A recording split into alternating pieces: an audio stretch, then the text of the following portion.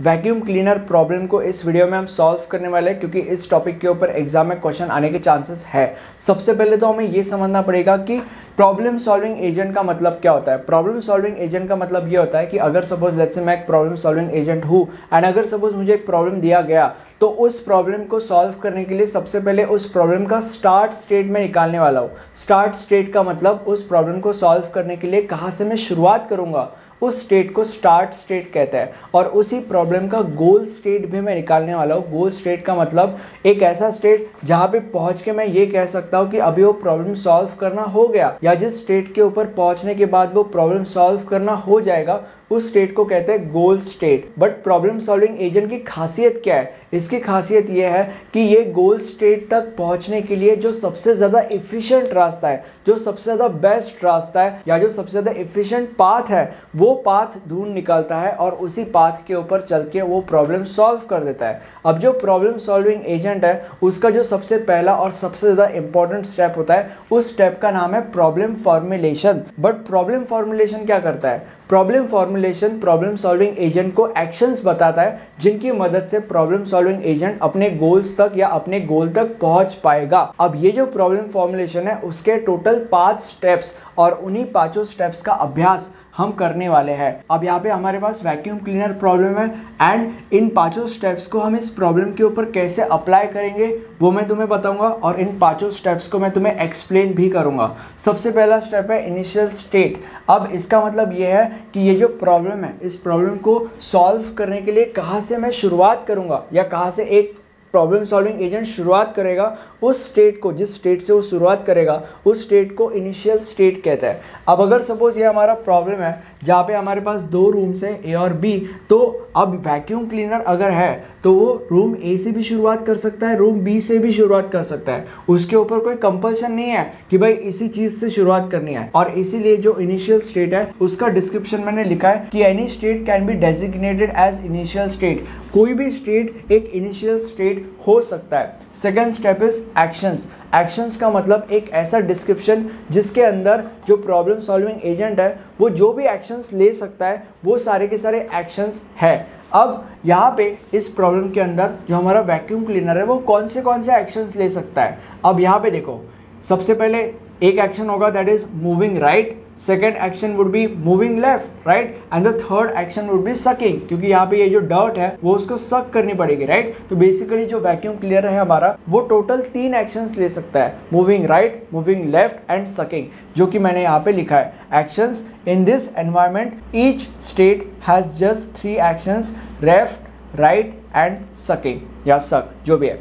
And the third step is successor function अब successor function जो होता है, वो इस फ़ंक्शन से डिनोट किया जाता है, जिसमें जो एस होता है, उसका मतलब होता है स्टेट और जो ए होता है, उसका मतलब होता है एक्शन एंड ये जो फ़ंक्शन है, वो ये एक्शन लेने के बाद जो प्रॉब्लम सॉल्विंग एजेंट है, वो किस स्टेट के ऊपर पहुंचेगा, उस स्टेट को रिटर्न करता है. अब इस चीज़ को या इस फ़ंक्शन को जब हमारे प्रॉब्लम में हम अप्लाई करेंगे तो क्या होगा? देखो जैसे कि यहाँ पे मैंने बोला कि स्टार्ट स्टेट ये भी हो सकता है और स्टार्ट स्टेट ये भी हो सकता है। मतलब बेसिकली स्टार्ट स्टेट में जो हमारा वैक्यूम क्लीनर है, वो रूम ए में भी प्रेजेंट हो सकता है और वो रूम बी में भी प्रेजेंट हो सकता है। तो अगर सपोज़ वो रूम ए में प्रेजेंट है एंड अगर सपोज़ हमने इस फ़ंक्शन को यहाँ पे अप्लाई किया तो यहाँ पे स्टेट क्या है? State would be A right क्योंकि वो ए रूम में प्रेजेंट है। एंड एक्शन क्या है? क्योंकि यहाँ पे डर्ट है, इसीलिए उस डर्ट को उसको सक करना पड़ेगा। तो एक्शन वुड बी सकिंग अब जब वो ये एक्शन परफॉर्म कर लेगा, जब वो सक कर लेगा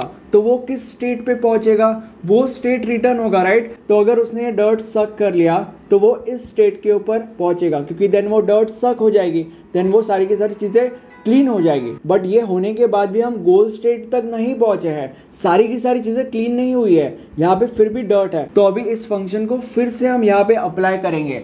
अब इस फ़ंक्शन को कैसे हम इस चीज़ में अप्लाई करेंगे? यहाँ पे स्टेट होगा ए क्योंकि वो ए रूम में प्रेजेंट है। And action would be moving right ठीक है? एंड जब ये वो परफॉर्म करेगा तो वो राइट right वाले रूम में चले जाएगा राइट right? तो वो जो स्टेट है, वो वो रिटर्न करेगा, जो कि यहाँ पे इसमें किया है, जहाँ की वो राइट right में चला गया है। बट अभी भी सारी की सारी चीज़ें साफ़ नहीं हुई है। अभी भी ये वाला डर्ट साफ़ होना बाकी है। तो इस फ़ंक्शन को यहाँ पे हम फिर से अप्लाई करेंगे। यहाँ पे स्टेट क्या होगा? B and action would be cleaning या सकिंग ठीक है? तो अभी ये यहाँ पे अप्लाई करने के बाद सारा का सारा डर्ट सक हो जाएगा। एंड सारा का सारा डर्ट सक होने के बाद जिस स्टेट के ऊपर ये पहुंचेगा that would be this and अब ये वैक्यूम क्लीनर अपने गोल स्टेट तक पहुँच गया है। अगर हमने ए की बात की है तो। ठीक है? अब हम बी के ऊपर जंप करते हैं। बी में भी सेम चीज़ है। अब यहाँ पे सेम चीज़ हम अप्लाई करेंगे। The state would be B and action would be sucking then ये अप्लाई करने के बाद एक्शन परफॉर्म करने के बाद सारा डर्ट सक हो जाएगा और ये स्टेट रिटर्न हो जाएगी। एंड देन अभी भी ये अपने गोल तक पहुँचा नहीं है। सारी की सारी चीज़ें क्लीन नहीं हुई है। तो फिर से इस चीज़ को हम यहाँ पे अप्लाई करेंगे। तो यहाँ पे स्टेट होगा A and action would be moving left तो अभी एक्शन परफॉर्म करने के बाद, यानी कि मूव लेफ़्ट होने के बाद, वो इस स्टेट के ऊपर आ जाएगा। मतलब ये स्टेट रिटर्न हो गया। बट अभी भी ये गोल स्टेट तक पहुँचा नहीं है, क्योंकि कचरा है। तो यहाँ पे फिर से स्टेट ए होगा and action would be sucking तो एक्शन परफॉर्म करने के बाद सारा का सारा डॉट सक हो जाएगा एंड ये फाइनली अपने गोल स्टेट तक पहुँच गया है अगर हमने बी की बात की तो। सो सक्सेसर फ़ंक्शन का मतलब ये होता है, आप एग्ज़ाम में पूरा का पूरा डायग्राम ड्रॉ कर सकते हो। अब अगले स्टेप के ऊपर जम करते हैं which is goal test goal test agent को ये बताता है कि जिस स्टेट पे एजेंट है, वो स्टेट गोल स्टेट है या नहीं। इसका मतलब ये है कि जब एक्शन परफॉर्म होने के बाद एजेंट यहाँ पे पहुँचेगा। क्या ये गोल स्टेट है? नहीं। तो ये उसको बताएगा। तभी तो वो आगे बढ़ पाएगा। इसको कैसे पता चलेगा कि ये गोल स्टेट है या नहीं?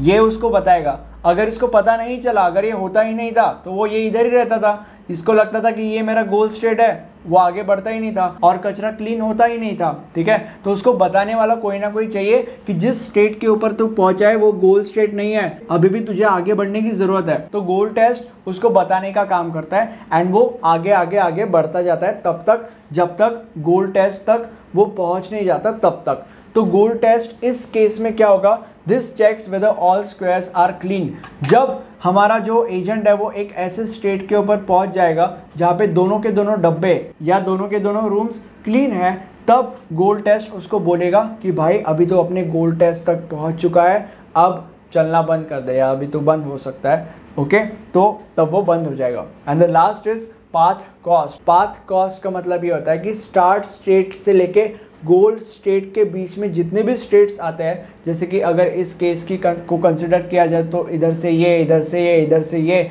ऑल दैट स्टफ़ तो जितने भी स्टेट्स आते हैं, सारे के सारे स्टेट्स को एक न्यूमरिक वैल्यू या एक कॉस्ट असाइन की जाती है, जिसके मदद से हम ये आइडेंटिफाई कर सकते हैं कि गोल स्टेट के ऊपर पहुँचने के बाद एजेंट ने इफिशिएंट काम किया या नहीं। तो अगर इसकी बात की जाए तो पाथ कॉस्ट में मैंने लिखा है कि each step cost one so the path cost is the number of steps in the path तो बेसिकली अगर एक स्टेप को मैंने वन कॉस्ट दिया तो पाथ कॉस्ट का मतलब जितने नंबर ऑफ़ स्टेप होंगे उतना ज़्यादा पाथ कॉस्ट होगा। अब ये सारी की सारी चीज़ें ड्रॉ करने के लिए मुझे बहुत ज़्यादा मेहनत लगती है। इसलिए अगर आप इस वीडियो को एक छोटा सा लाइक दे दोगे तो मुझे काफ़ी अच्छा लगेगा।